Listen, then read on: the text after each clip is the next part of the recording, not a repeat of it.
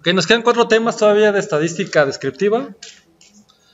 Bien, los interesantes, los complicados. Ahorita vamos a ver uno que se llama respuesta múltiple. Vamos a volver a hacer lo mismo. Lo hago yo, todos al frente, y después ustedes.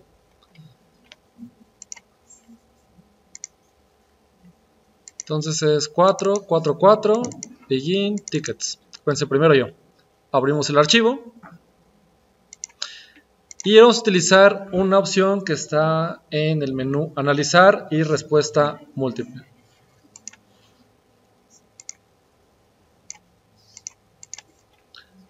Analizar, respuesta múltiple. Definir conjuntos de variables.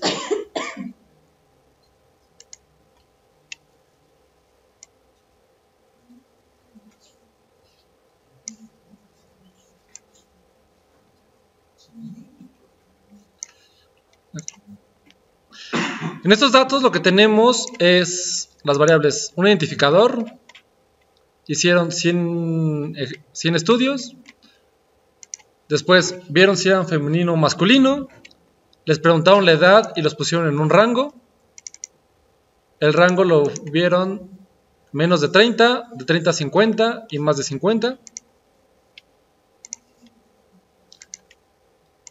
Les preguntaron qué preferían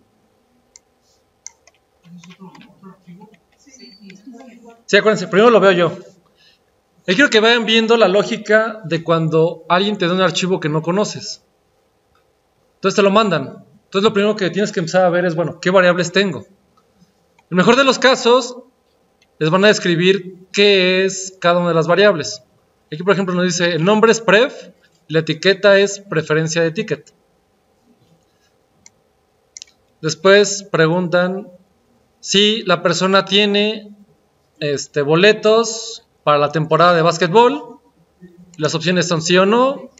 Queda de béisbol, si tienen para la temporada de básquetbol, sí o no. De fútbol, sí o no. Después cuentan cuántos boletos de temporada tienen para deportes. Después preguntan si tienes boletos de temporada para la sinfónica, para la ópera, para el teatro o para el ballet. Al final preguntan cuántos eh, boletos tienes en total para cosas de arte y al final cuántos boletos tienes en total considerando deportes y considerando el arte. Y esto se tiene que hacer a mano, que es la opción número uno de boletos. Escogió esta persona, este, béisbol. Después su segunda opción fue fútbol. Es una forma muy tardada de hacerlo, así es muchas veces como se hace en SPSS. Aquí os dividen hasta cuatro opciones. ¿Por qué han puesto hasta cuatro opciones? Bueno, porque agarraron y vieron que el total va desde 0 hasta 4. Nadie tiene 5 boletos para temporada de 5 cosas diferentes. Entonces por eso que escogieron 4. Acuérdense, aquí estamos tratando de analizar qué es lo que nos están mandando, qué es lo que estamos viendo. También, luego esto les va a pasar a ustedes. Cuando hagan un archivo en 2018 y lo vuelvan a abrir en 2020, la pregunta va a ser, ¿qué carambas estaba pensando? ¿Por qué le puse esa etiqueta? ¿Por qué le puse ese nombre? ¿Por qué le puse eso? Eso es lo más, común que pasa en absolutamente cualquier rubro. Ingeniería, negocios, este, educación, lo que ustedes quieran. Entonces, por eso es bueno que desde un principio pongan los nombres adecuados. Entonces, bueno, es una manera en la cual se tiene que hacer a mano. Y aquí la pregunta es, ¿SPSS tendrá una manera más sencilla de hacerlo? Aquí para hacer esto lo que se hace es analizar, respuesta múltiple. Esto nos sirve cuando se le dan varias opciones a una persona. Y no solo tiene varias opciones, sino que puede escoger varias respuestas. Por ejemplo, un examen. Un examen va, las opciones es A, B, C o D. Elija una de esas. Aquí es cuando la, persona puede escoger 1, o 1 y 2, o 1 y 3, o 1 o 4, o vaya, cualquiera de las opciones este, disponibles. Como aquí que te preguntan, ¿qué te gusta? ¿Básquetbol, fútbol o béisbol? Ahí puedes decir, me gustan las tres cosas. O tengo boletos para las tres cosas. Entonces, esto es cuando se ocupa las variables. Algo que se podría hacer en algo de exalumnos. Mm, por ejemplo, que les pregunten, ¿qué tienes? ¿Tienes licenciatura? ¿Tienes maestría? ¿Tienes doctorado? ¿Tienes diplomados? ¿O tienes un posgrado? Entonces, alguna persona le puede decir, yo solo tengo licenciatura. Alguien les puede decir, yo tengo licenciatura y diplomados. O tengo licenciatura y una maestría. O si fueron al extranjero, hicieron una, una licenciatura y después hicieron un doctorado. Entonces, vaya, son las diferentes opciones. Estos son los tipos de respuestas múltiples. Ok, ¿cómo se hace esto? Analizar respuestas múltiples y definir conjuntos de variables. Ahorita vamos a hacerlo para, para fines estadísticos. Vamos a agarrar los de deportes. Acuérdense, primero lo hago yo. Selecciono los, las cuatro variables que quiero hacer. Y también aquí es importante, aquí nos pregunta qué tipo de variable es. Si es dicotómica o categórica. ¿Qué diferencia hay entre dicotómica y categórica? Una dicotómica, acuérdense, este, etimologías, di, de, de dos, de doble. Es decir, puede tomar dos valores únicamente. Es 0 o 1, 1 o 2, no hay más. No hay 1, 2, 3, no hay 1, 2, 3 y 4. Es 1 o 2. Aquí nos dice cuál es el valor positivo. ¿Por qué? Porque lo general estas son de sí o no. Entonces, aquí queremos contar es el valor 1. Va a crear una nueva variable. Vamos a llamarle boletos deportes. Y le damos en añadir. De una vez vamos a crear otra. Esta va a ser para los boletos de arte. Igual, selecciono las cuatro opciones, las cuatro variables que tengo para seleccionar arte. Son variables dicotómicas. ¿Por qué? Porque son variables de ¿tienes ticket? Bueno, ¿tienes boletos? Sí o no. Entonces, dicotómica. El valor que me interesa es el valor 1. ¿Qué pasa si alguien lo pone al revés? Y por alguna razón extraña el valor de sí le pone 0. ¿Qué valor tendría que poner aquí como valor contado? El 0. ¿Qué tal si al revés? Alguien quiere evaluar cuántas personas no tienen de, este, boletos. ¿Cuál será el valor que quieren evaluar? Depende cuál sea el no. En este caso es el 0, entonces el valor contado que quieren este, evaluar es el 0. Por eso se escoge solo uno como un valor positivo. Sí, es el que nos interesa. Como son dicotómicas, quieres escoger nada más un valor de esas dos. Nombre, le vamos a poner boletos arte, etiqueta dejamos así, añadir. Y vamos a crear una última en la cual quiero todos los boletos. Quiero los de deportes y quiero los de arte. Como ven, agregué 8 variables. Este lo vamos a llamar si tiene boletos. Tiene boletos en general. Igual, son dicotómicas. ¿Qué valor queremos usar? El 1 porque queremos evaluar cuánta gente sí tiene boletos. Añadir. Ok, esta ventana lo único, que, lo único que nos hace es crear los conjuntos de respuestas múltiples. Este, si ven, empieza con el signo de pesos. ¿Esto será una variable?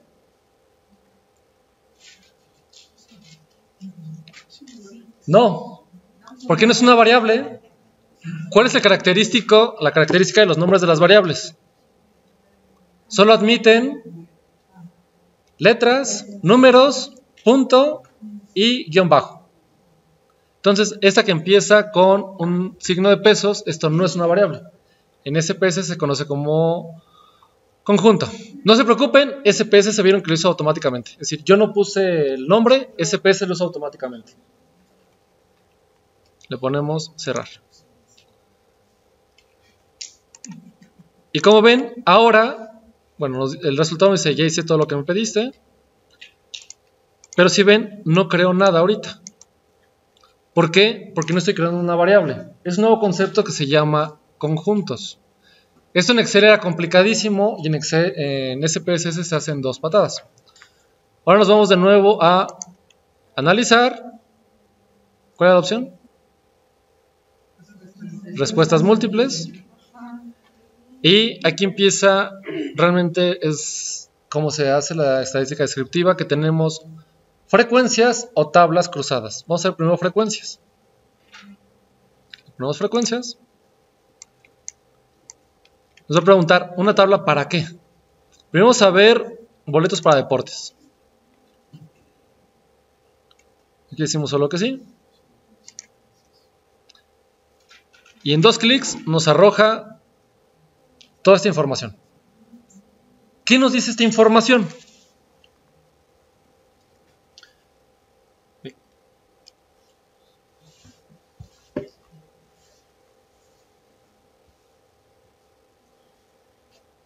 ¿Cuánta gente tiene boletos de deportes? 76. ¿Cuánta gente no tiene absolutamente ningún boleto de deportes? 24. 24. Nos saca los porcentajes que hay entre ellos, que es 76% frente al 24. El total de la gente que sí tiene y los que no tienen, que en este caso le llaman perdidos, y llaman perdidos porque no lo está tomando en cuenta, porque ese PSS únicamente consideró los que tenían un valor como sí, y a los otros los, los llama casos perdidos. Después, nos dice, ¿cuántas respuestas tenemos? ¿Cuánta gente tiene boletos de béisbol? 22. ¿Cuánta gente tiene boletos de básquetbol? 31. ¿Y cuánta gente tiene boletos de fútbol? 32. 32. Yo creo que agarré una variable de más. Sí, el de ticket preference. Ese es, ese, ¿desde qué va a estar? Ok. Me equivoqué. No pasa nada. Nos vamos de nuevo a datos. Diga a analizar. Muestras. No. Respuesta múltiple. Define conjuntos de variables. Selecciono la de boletos de deportes. Aquí me equivoqué. Aquí da ticket preferencia. Esto no era. La quito. Y ya me quedan nada más. ¿Quién tiene boletos para béisbol, básquetbol y fútbol? Acuérdense, le pongo cambiar para que haga el cambio. Entonces, si me regreso, ya dejo nada más las tres. Y de nuevo, tiene boletos, tengo que volver a quitar aquí también la de Ticket Preference. Le pongo cambiar y ahora sí está bien. Boletos de deporte y si tiene boletos. Le damos cerrar, lo volvemos a hacer. Analizar, respuestas múltiples, frecuencias, ya están los boletos de deporte y le damos aceptar. Ahora sí. Ve, si se equivocan no pasa absolutamente nada. Lo vuelven a hacer y ya. Los datos no se modificaron, sus datos siguen íntegros, únicamente se hacen otro conjunto. Ok, ahora sí, ¿qué nos da esto? Tenemos que 61 personas tienen un boleto de deporte y 39 no tienen absolutamente ningún boleto de deporte. Esto nos da 100. Y después tenemos cuántas personas tienen este, boletos de básquetbol. 22. ¿Cuántas personas tienen boletos para el básquetbol y cuántas para el fútbol? 32. Pregunta. ¿Por qué el total de 85 si únicamente 61 personas tienen boletos para algún deporte? Porque algunos tienen para dos. O para tres. Exacto. ¿Cómo se imaginarían hacer esto en Excel? Separado. Hay que hacerlo por separado y empezar a sumar y poner variables nuevas, etc. SPSS lo hace de manera casi automática. Define su, con- su su conjunto de datos y ven, lo saca automáticamente. Aquí este tipo de datos son los que ya no les define SPSS. Ahí te puede decir, oye, pues no es 61 por 85. Bueno, porque unos que tienen dos o tres. Los porcentajes entre ellos y después los porcentajes de casos. Vamos a ver qué pasa con los demás. Perdón, la diferencia entre porcentajes y porcentajes de caso. Ajá, En el caso del primero, ajá. básquetbol, está diciendo 25.9 y Ajá. luego te está diciendo 36.1. ujú. ¿Cuál es la diferencia? ¿Qué entendemos con esto? Aquí el caso es que no hay una respuesta para esto. Aquí depende de sus datos. Aquí tenemos que empezar a analizar, ok, 85 personas o hay 85 boletos. Hay que ver este 22% de dónde sale y después el porcentaje de los casos. Yo creo que que ver con esa misma situación de que, hay gente que elige dos opciones y entonces por eso está dos columnas. Porque si se fijan el resultado de la primera es el 100%, Ujú. porque es el total contando los casos. Pero el 179 sale porque hay gente que elige las dos opciones. O sea, no me sale el mismo número de personas que el, número, el mismo número de, elecciones, porque hay gente que elige las. Aquí la respuesta es, en porcentaje de casos, tiene que relación con este 61. Es decir, del 61 que tienen algún boleto, ¿qué relación tiene este con este? Si vemos, el 31% de las personas de este número tienen un boleto para básquetbol. De esos 61. ¿Cómo lo sé? No sé, pero mira, la última columna Ajá. dice 139.3. Ajá. Entonces, me está diciendo que los perdidos son 39. No, no, no, no, no. Entonces, es el Es el total de 39%. respuesta. Este es la suma de esto.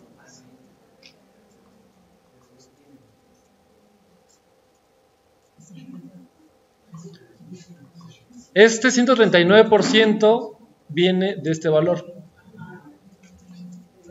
El 139% de 61 es 85.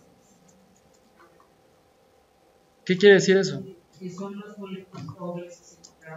Es que porcentaje de acumulados. Hay un porcentaje de casos acumulados. Es cuando la gente está comprando dobles. Acuérdense, en esto no hay reglas. Tienen que estar viendo los datos y ver, bueno, esto de dónde viene, esto de qué viene.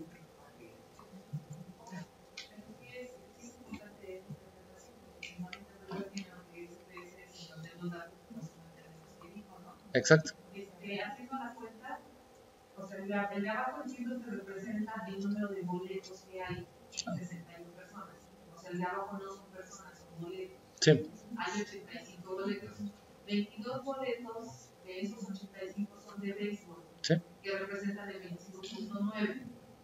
Y el 36.1 corresponde al porcentaje con respecto a 61 personas. O sea, el segundo El 36% de los 61 tienen boletos de béisbol. Aquí es el 36% De los de los 61. tienen boletos de béisbol, porque Sí. si hacen la cuenta, de 22, entre 61 salen 26. Ujú. No, yo digo que no porque no puede haber un 139%. Sí, porque hay casos repetidos. Ajá, entonces, bueno, yo aquí hice una tabla de tres y es el 61%. 61 personas representan al 100% Ajá. Y el número X de personas representa al 139%. que Son 84 personas. Eso quiere decir que hay 23 personas que no son dos. Porcentaje de de porcentaje de con personas.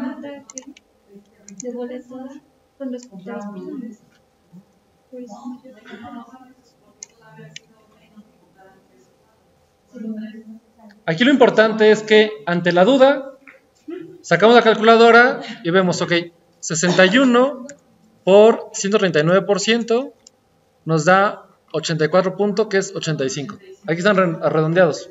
Entonces, este 139% quiere decir que es el 139% de el número de casos. Acuérdense, aquí depende de qué están analizando. Aquí estamos hablando de tickets y personas. Hay que decir que hay más tickets que personas. Puede ser una interpretación. Eh, después, ahí no sabe dónde sale el... ¿Qué más será? Bueno, los porcentajes es con respecto al 85. No, los primeros son respecto a... Al 61. entre 85 y queda ¿Cuál entre cuál? 22 entre un 85 y el 85 te da 25.9. Entonces, aquí nos dice que de todos los boletos que tenemos, que son 85, el 25% es de béisbol. Ahora divide 22 entre 61. Y ahora sí estás hablando de personas, por eso dice casos. Ahí es el 36.1 redondeado. Todo lo que dices es el 36.1 de las 61 personas tiene boletos. Exacto. ¿Alguna duda cómo llegamos aquí? Esto, señores, ya es cosa de matemáticas, lógica y deducción. Sí, aquí no quiero que se lo aprenda esto de memoria, porque cuando lo vean en sus casos va a ser completamente diferente. No van a contar boletos de béisbol, no van a contar boletos de teatro, voy a estar contando otra cosa. Aquí lo que quiero que vean es lo que les arroja SPSS y las conclusiones que se pueden llegar. Y si en algún momento se les olvida esta clase, o simplemente no saben, no tienen idea de este de dónde viene, empiezan a dividir. Tienen el total de personas que sí tienen boletos, tienen el número de boletos, ven cuál sale con cada uno. Y con que encuentren uno, los otros ya salen por lógica. Vamos a ver el otro.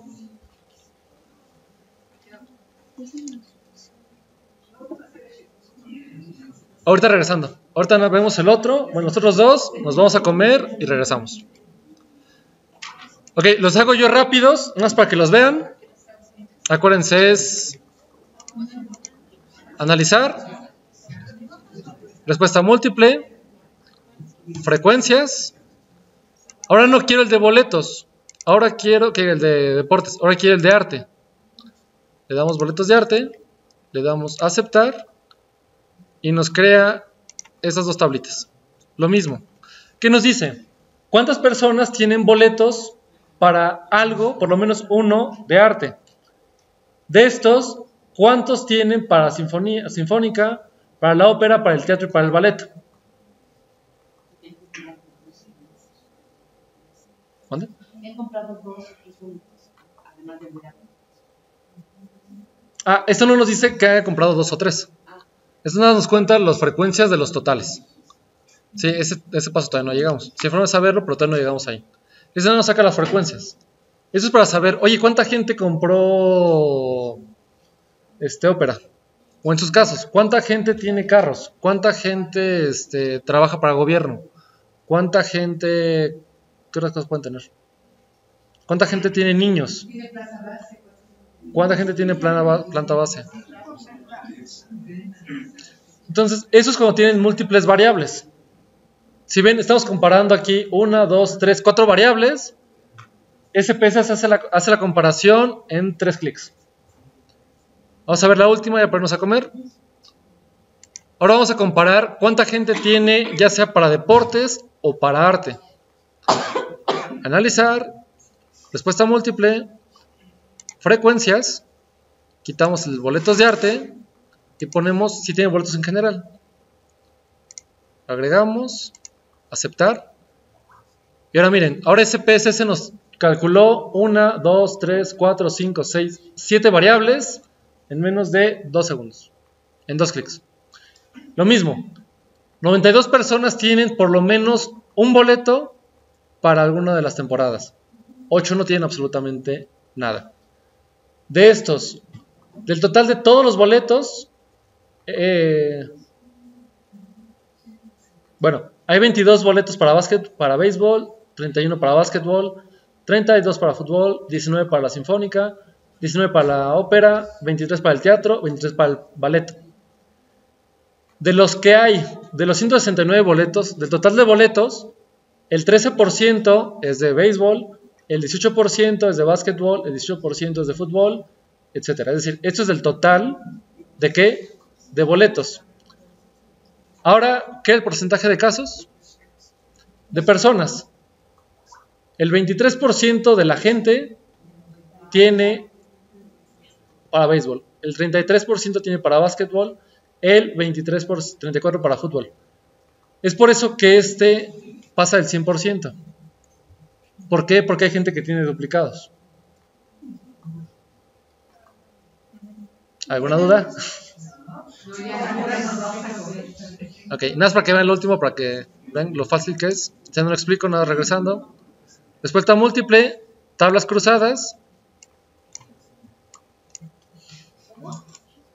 Tablas cruzadas. No es para que lo vean rápido.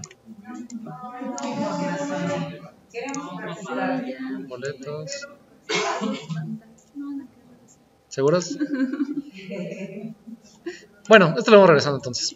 Regresamos y hacemos un ejercicio de esto para que lo vean. Y ahorita vemos el otro. Ok. Sí, aquí se cierra, acuérdense. Todo lo que queda aquí.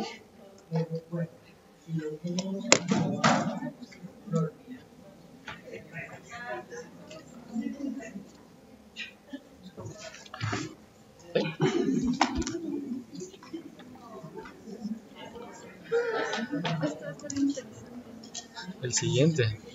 Sí.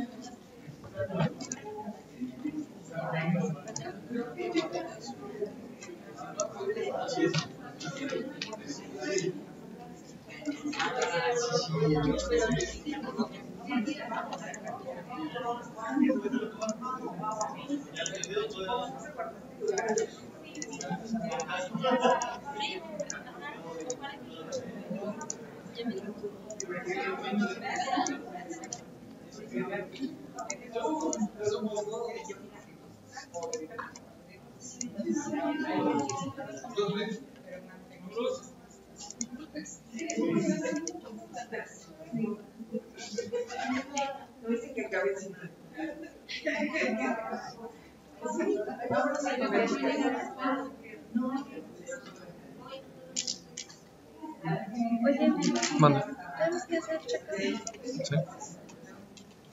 Sí. Y viendo todos los datos que te va aventando la pantalla, ¿no? Y practicarle. Más que